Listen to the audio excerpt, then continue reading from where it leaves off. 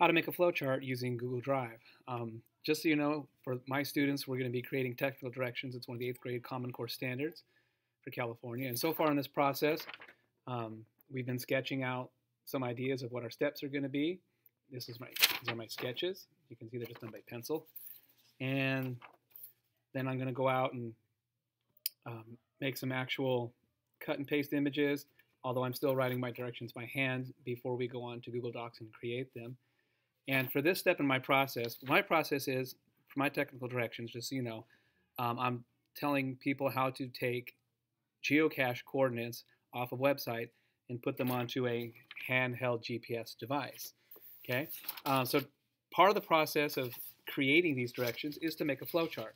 It makes it a lot easier when you begin to see all the different steps, and it really helps you figure out the order in which things go, and it really helps you make sure you're not missing any steps. So to create one, you go to the Create button on Google Drive. You're going to choose Drawing. It's the easiest one for this. First thing I do is I click on the title. Uh, I'm going to call these Tech Directions Flow Chart. And if you're my students, you'll begin this with the class that you're in. This is English, so it's either E1 or E2, comma, your last name, right? Then comma tech directions flowchart before you share it with me. Okay, for me, this is how I'm, what I'm titling it. Um, and then the next thing I want to do is under File, I want the most bang for my buck, so I'm going to select Page Setup, and I want to make this as wide as possible. It's going to help my, see how my table's now bigger? Uh, and now, in order to get this started, click on Shape. When you click on Shapes, down towards the bottom, you'll notice these are called flowchart shapes. This is a flowchart process. It's a nice little square. It doesn't really matter which of these icons you choose, but this is one of the easiest ones to write things in. And I'm going to select that, and now I can draw it any size I want.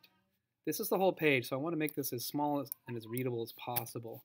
Arial 14 is way too big. I'm going to make it 8. Double click on the inside, you can begin entering your text.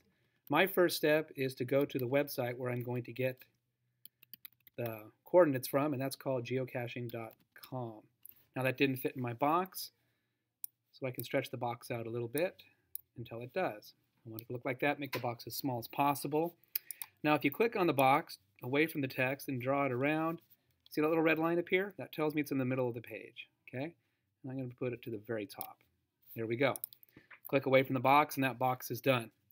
Now, in my steps, um, the first one of the first things I said is, do you have an account or not? Because you'll need to create one in order to get um, the geocache coordinates. So that's it's a must happen step. It's an intricate step, you could say.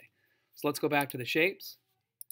And one of these they call, there it is down here, they call this in a flowchart a decision box. So I'm going to put that in there. You don't really have to use these shapes, um, but I'm going to just because it makes it a little easier. And it doesn't matter how big or where you put it right now because you can always change that. Double click on the inside. I wish I didn't have to do this. There's probably a way to default them to start off as Arial 8, but it doesn't take that long. And I'm just going to put in, this is for my own use. My person, my reader's not going to ever see this, so I could just type in account. Um, then I'm going to shrink that down as big as I, or as small as I can, and still have it all on one line, right? Almost there. account, there it is. Okay, now once again, look at that. It lines up beautifully. See that little red line up here? We can move it a little higher. There we go. now there's two answers to this, either yes or no, right? Let's go back to our shapes. Select the little circle, which they call, um, I'll show you next time. Make my circle. One of these answers will be no. And now I want to make another circle. Answer is going to be yes. Let me hover this long enough. They call this the connector. That works. It works good enough for me. Now watch what happens as I begin to draw this one. Oh, I didn't. I deselected it. Sorry. Connector. As I draw this one, watch this. See how it lines it up with the other one? Isn't that nice? I know they're the same level, very appealing to the eye. Um, and now we go to 8, and I'm going to say yes. Um, now let's move this around a little bit. Watch what happens. It's going to tell me that it's in line, and then Look at those two little blue lines. It tells me that it's the same distance apart from the uh, diamond here as the other one. Okay, pretty handy. Let's connect some of these dots, shall we? Let's take a line and make it an arrow. And see how it gives you the middle of the box? I'm going to start at that dot, let go here. There's my arrow. Can't see the arrow. I don't like that. Oh, I don't want that arrow. Hit delete. So instead, I'm going to drag this down a bit. But notice how the arrow extends with me. If I move it over here, the arrow extends. How cool. Uh, but I want it to be in line with the one, and I want to make sure they can see the arrow. So that brings my circle out of alignment. Now it's in alignment. Let's bring this circle down. Now it's in alignment. And you've got two possible answers here, right? Yes or no. So there's no, there's yes. Uh, there's no other third choice. If there was, I could put it down here. Now, what's going to happen if they don't have an account? They need to create one, right? And they call this one an alternate process. So I kind of like the shape too. So let me draw a box that is an alternate process that's going to say create account.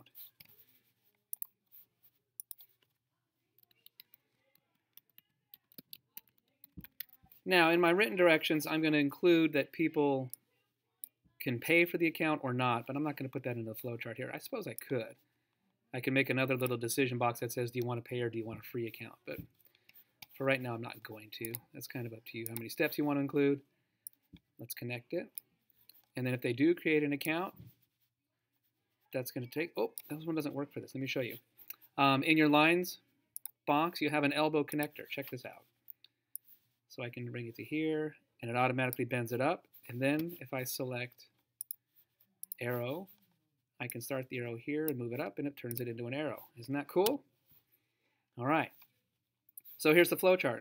Go to geocaching.com. When you're there, do you have an account? If no, create an account.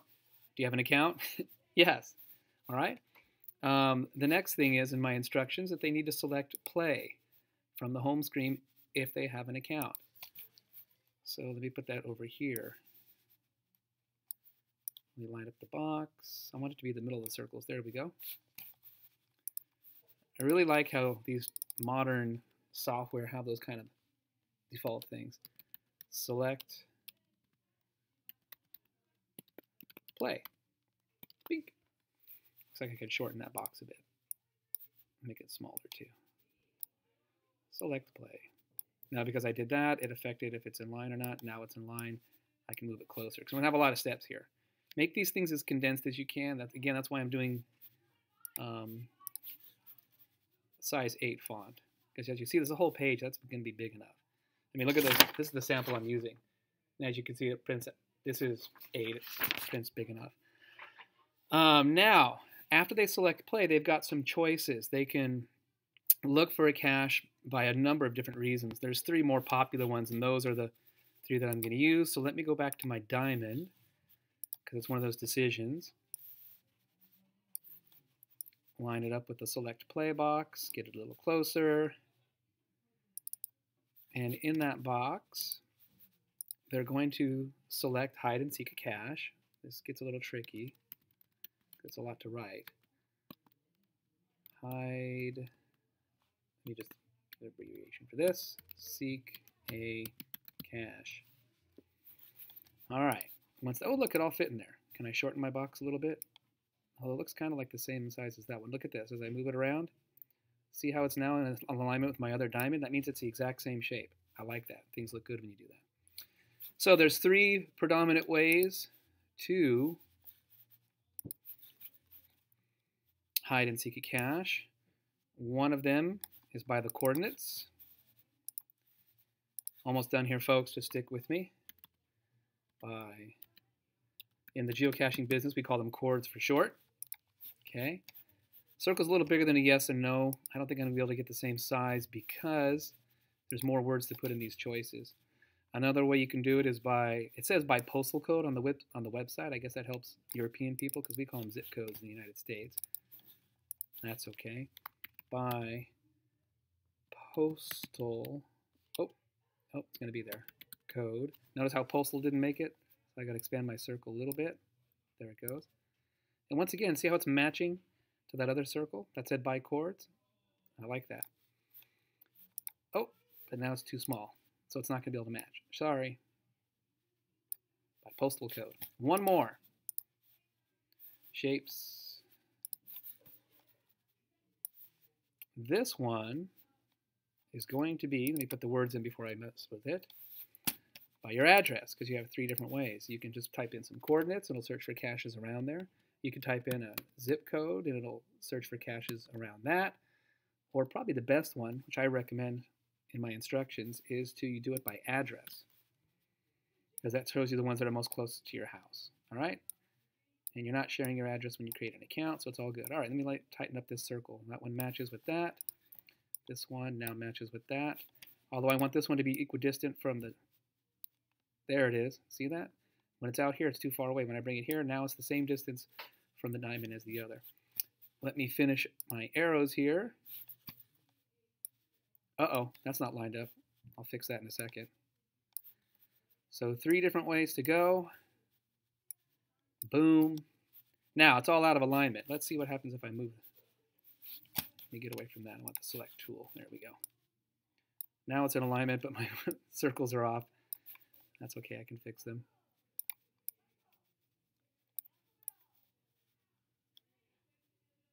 There we go. And now this one's going to need to come up. Awesome. Okay. Now, no matter which of these three things I choose, the next thing it's going to have me do is find the, the cache you want to go for. So let me do one more thing. And after this, you should have enough to be able to make your own flowchart. Um, I'm going to call this select cache and watch all the different ways you can get here. This is where you kind of have fun. Let's line it up with the with this up above. Can I do that? Wow, there's so many options. I love it. Um, eight. Select cache you want to look for. And in my instructions, I'm going to give them a few hints about which kind of caches they can look for.